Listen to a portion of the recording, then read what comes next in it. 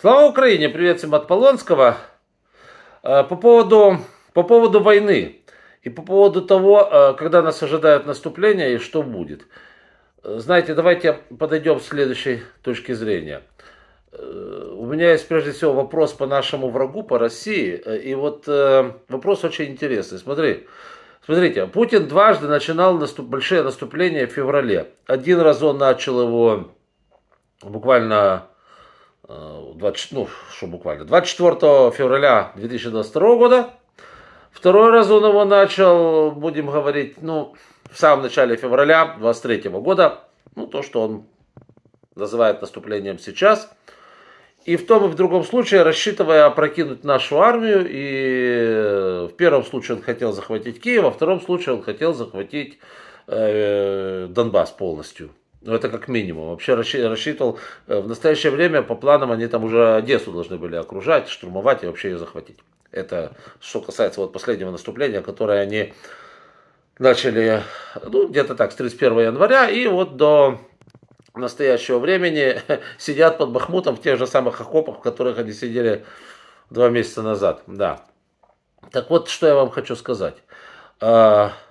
По-моему, что-то у Путина не то с головой, или у его э, генералов что-то не то с головой, потому что в первом варианте, посмотрите, когда они наступали, у них зазор на ведение активных боевых действий был вообще там, ну, ну, две недели, это в лучшем случае, на самом, случае, э, на самом деле неделя, потому что потом пошла распутица, а в их случае тогда, вы помните, не было сильно холодно, она прошла, пошла практически немедленно, войска были сконцентрированы на кишках дорог и были, собственно говоря, особенно под Киевом, э, под Черниговом, э, полностью уничтожены. Все, что зашло, ну, частично успело сбежать, но, сами понимаете, большая часть техники была и войск уничтожена.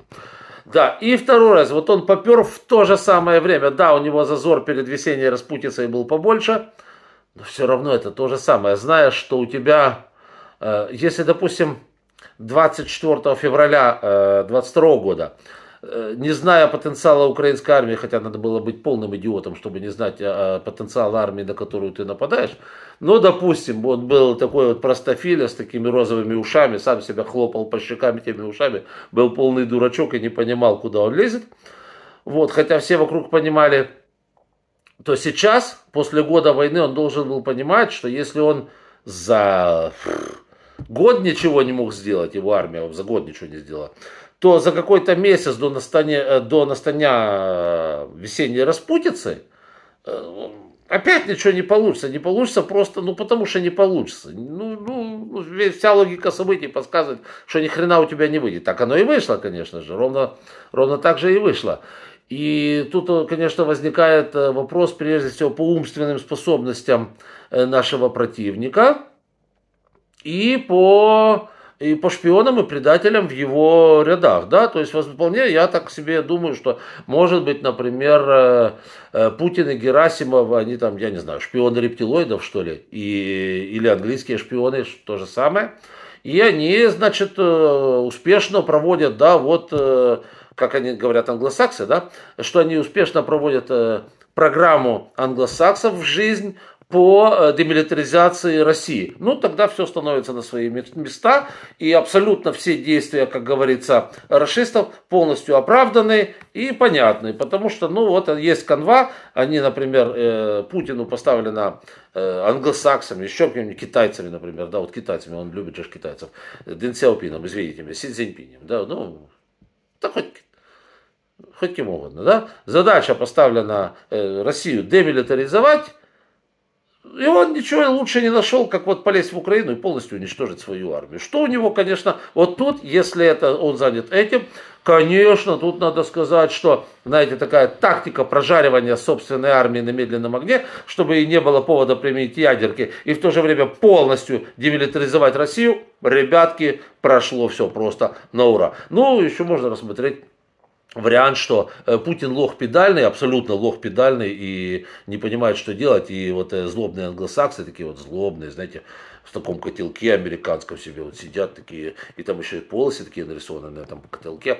И они так злобно его провели э, за нос, когда, как он, он сам себе говорит, что меня за нос водили, так и, но он же постоянно врет, у него нос растет, как у Буратины. И, соответственно, его вот за этот нос, видимо, и водили. Ну, вот тоже как вариант такой. Да, других у меня объяснений логических этому, этому идиотизму, который там у них происходит, нет. Ну, да бог с ним, да. А когда же начнется наше наступление, вот следуя вот этой всей логике, то, что там происходит у них, э, почему, говорят, наши не наступают? Да потому что у нас вот этих буратинов вот с таким носом, и идиотов, и, э, ну, назовем это грубо, английских шпионов, у нас в армии нет.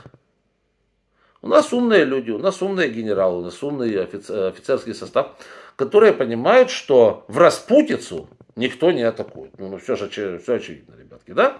Э, почему? Потому что распутицу ты э, строго ограничен только дорогами. Соответственно, тебе очень легко там укондрапупить. Наши этого делать, конечно же, не будут.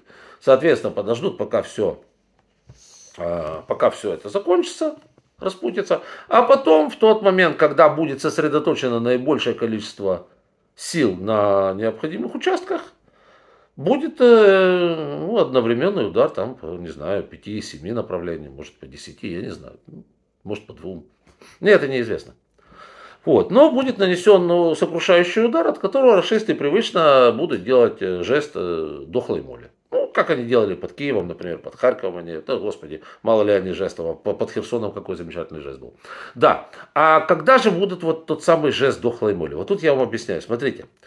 Наши уже сейчас начали домбить, хотел сказать Бомбас, нет, Бомбас, ну тоже домбить будут, но по-другому. Э, Крым. Крым начали домбить. Э, Крым это узловая, прежде всего Джанкой, Джанкой, еще раз Джанкой. Ну, Джанкой, Крымский мост, я уверен, что еще по Крымскому мосту прилетит, посмотрим. Вот, значит, э, Джанкой. Джанкой такая штука, через которую проезжают абсолютно все поезда в Крым и из Крыма. Соответственно, все, что едет сейчас для российско-фашистских войск на территории э, Херсонской, Запорожской и даже частично Донецкой области, проходит оттуда. О! И получается, разбив э, какой-то состав, там, развалив его в хлам на станции Джанкой, мы замечательно вообще делаем такую, знаете, пробку, такую, лусь, вот. И, соответственно, соответственно, совершенно очевидно, что, что наши будут делать? Будут домбить э, Крым, будут домбить железные дороги, уже, собственно говоря, этим занимаются, с тем, чтобы э, сменьшить до минимума возможность расистов э, оказать нам отпор. Потому что нам нужно что сделать? Нам нужно, а, убрать у них э, пути сообщения, то есть прилетать должно беспрерывно, в тот, ну, пускай недели за две вот начать. До того, вот как мы в Херсоне, лупили, лупили, лупили, лупили, лупили, лупили, перелупили вообще все, они сами убежали. Вот, конечно, здесь они сами не убегут, им немножечко поможет, знаете, того пиндюка придется немножечко поддать, чтобы, ну, ускорение было нормальное, а дальше они уже сами действительно побегут. Вот, но пиндюка все равно придется давать хорошего. Вот, значит, соответственно, будем домбить вот эти все пути сообщения, Будем э, выводить из строя железную дорогу. Возможно, завалим Крымский мост сразу перед началом этого всего дела. Кстати, э, сразу говорю, по наехи, которые там сидят сейчас в кругу, бегите. Бегите, потому что если мы начнем, я не знаю, но опять, если мы начнем с Крымского моста, если мы его завалим сразу же, соответственно, вы окажетесь все в мешке, поэтому вам лучше сбежать. Вот. И Вате, ну, Вате всякое там, кто вот э, коллаборанты и так далее. Лучше все-таки сбежать. Там у вас останется хоть какой-то временной зазор, чтобы убежать перед тем, как придут сбройные силы Украины. Вот. Ну, а нам что? Нужно уничтожить их склады с боеприпасами. Личный состав тоже, но, в принципе, он, он у них, в принципе, бестолковый, тупорылый и Э, как вам сказать, не очень боеспособные. Ну так, они воевать хотят, но воевать хотят, чтобы за них кто-то воевал, а они зачистку делали. И при этом желательно, чтобы в, в, в каждой квартире по плазме осталось, там по блендеру, по женским трусам, да, еще что-нибудь такое красивое, ну то, что они гламуром считают, да. Вот.